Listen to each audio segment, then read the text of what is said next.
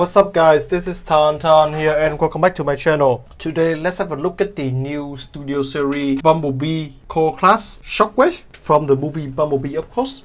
So I must say that this is a pretty surprise release to me because I was thinking like why Shockwave in Core Class? Isn't he should be in Leader Class or at least Voyager Class?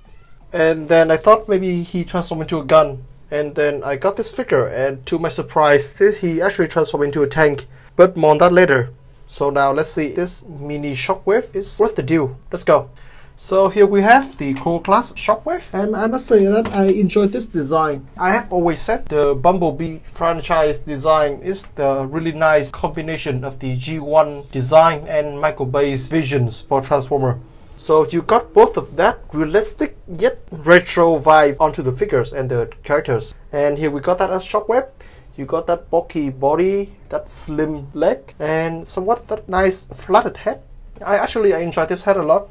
I wish the color of the eyes is red, but that is only my personal opinion because I'm a big fan of you know the Dark of the Moon Shockwave and the Prime Shockwave, but the yellow eye is perfect. I enjoy this a lot, and it is painted though so you don't need to worry too much about it not being noticed. And the main body is purple and silver, and you got some paint here and there, like on the chest, on the face, and of course the gun. More on that later. The leg got some details painted.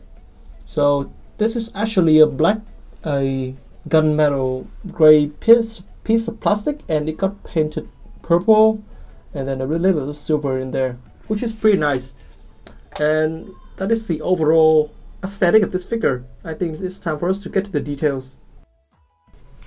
For the head, of course, you got that beautiful painted eyes and a lot of silver detailing on the face as well. And the silver part on the head are painted, so that is pretty nice. Uh, they highlight the details, and I enjoy this head sculpt a lot. And you got some fins on the back of him as well. That is really nice. And now moving on to the chest, the torso section. So this torso section, like shockwaves, is really pushing out, and I enjoyed it. I enjoyed this push out chest a lot, and you got some nice detail over the chest. As you see, they got painted in a what a in a crimson red color, and you got some silver lining over there, which is pretty nice, really nice. And if you look downly, you see some mechanical details here and there, and I think it looks great. I think, in my opinion, this looks great. And as for the arms, th isn't this this some bulky arms? I enjoy this arm a lot. I think that this got some really nice details. You see here, the arms got painted, same as the leg. So the arm is kind of reversed to the leg. So this is actually a purple piece of plastic, and then they paint this part black. Same for the upper section as well. So I think that is some really nice detailing over there. And you got the hands and I must focus onto the arm itself. You see so many details over here. I think that this is a great way of showing how nice the design is by making a lot of details, surface detail under on there. And a shockwave wouldn't be shockwave if not for his gun. And this time we don't have a like a mechanical gun arms. This is actually a gun. Uh, I don't know in the movie, but this seems like a try. So I'm gonna take the gun out. The gun is painted with some silver to highlight the barrels and the mechanical details, which is pretty nice. And if you look closely here, there are two silver onto the gun. This here is look like a matte, a dark silver color, and the barrel is like a really shiny one. That, in in my opinion, that is like a really nice effort this is a really small figures and the fact that they even try and use two different silver paint on it really makes me happy about this figure. And to attach to the arms, you're just gonna put this onto his hand like that. And now it's just looking like he's holding the gun, you know. It's not like his arm is a gun.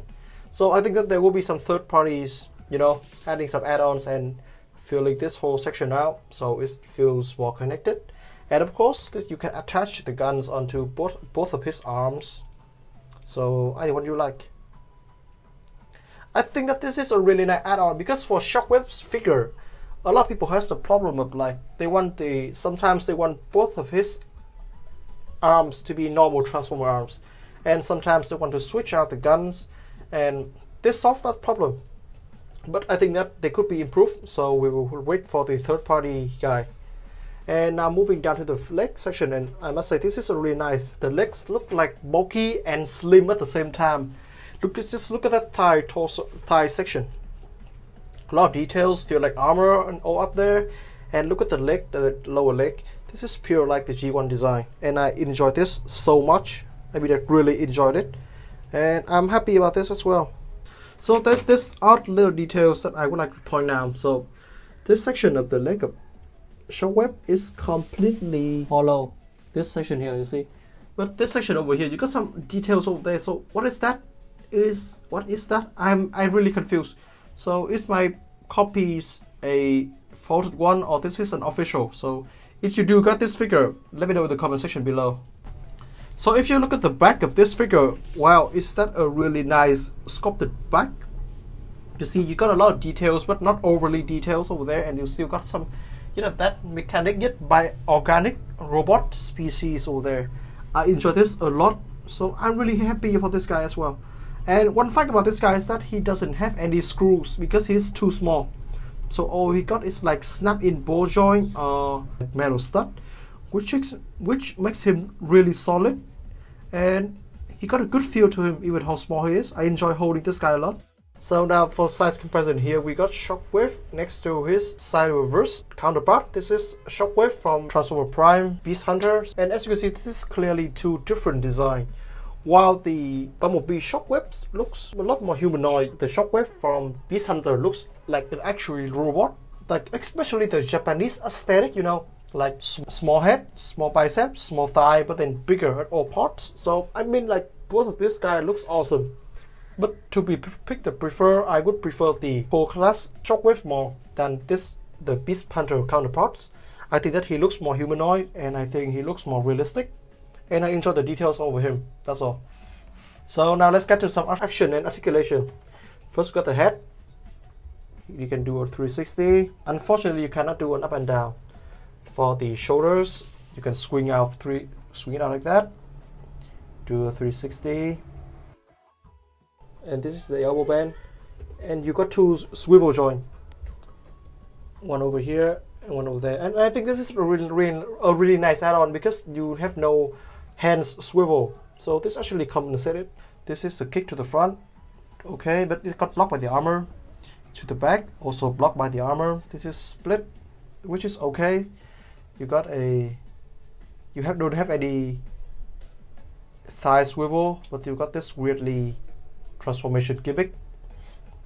This is the bend of the knee. One thing is really nice is that when you bend, the one this this part here they got that like chop out, so it's actually feel more connected, and I really enjoy that.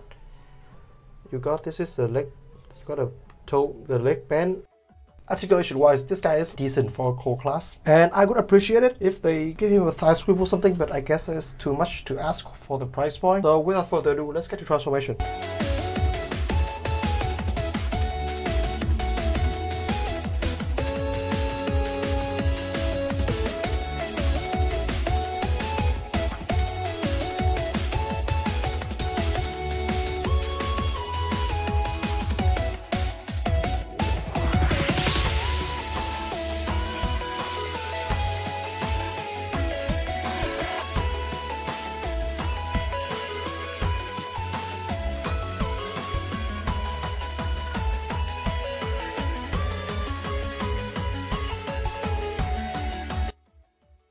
After finish transforming this guy, all we got left is a Cybertronian tank, and I must say an ugly Cybertronian tank. I mean, I just turn him around, and you can see the, clearly the head.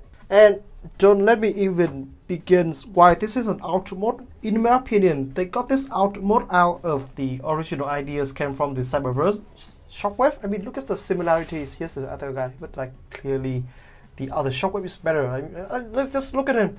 Robot cables nicely hidden the head is gone and there are no parts forming stuff. But look at this shockwave over here a complete disappointment. You can see obviously see the arms right there. I mean like what? And the head? And the way the guns plugs onto the head, it's just like, uh, I cannot accept it. And in my opinion, this is one of the worst figures in the Bumblebee movie that ever came out. Speaking on the alternate mode terms, I mean, I, I love the robot mode. Don't get me wrong, and I enjoy the robot mode so much. But for the alternate mode, the tank mode, this is a complete disappointment. I mean, like he's a core class, right? Why why don't just make him into I don't know a gun? So like Blitzwing and Starscream can hold him, or like the future Megatron figures can hold him. I think that is a better idea than trying to be a tank. Because obviously this transform mechanism, this this core class learned from the Shockwave here, the Cyberverse one, but failed. I mean like he, it is like a makeshift copies. I mean this is a complete disappointment. So in my conclusion, if you're gonna buy this figure, display him in the robot mode. Just stay away from this alternate mode because this is a disaster. So I mean like should you get this figure? Yeah, why not? And so that will be it for today guys. So I will see you guys later. Ton out.